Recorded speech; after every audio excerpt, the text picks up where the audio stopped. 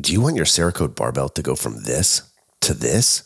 Cerakote bars look great, but show dirt easily. Traditional cleaning methods just make it worse. All you need is some rubbing alcohol and a microfiber cloth. Apply the rubbing alcohol to the cloth and scrub away.